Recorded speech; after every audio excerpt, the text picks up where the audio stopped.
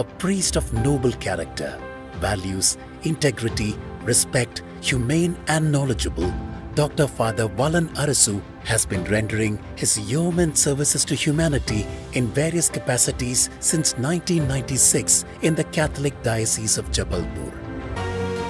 On Saturday, January 13, 2024 at noon, corresponding to 1630 hours as per Indian Standard Time, in light of the communication received from the Apostolic Nunciature, it was announced by His Holiness Pope Francis that the resignation of His Lordship Right Reverend Gerald Almeida has been accepted. And Reverend Father Valan Arasu of Jabalpur Diocese has been appointed as Bishop of Jabalpur.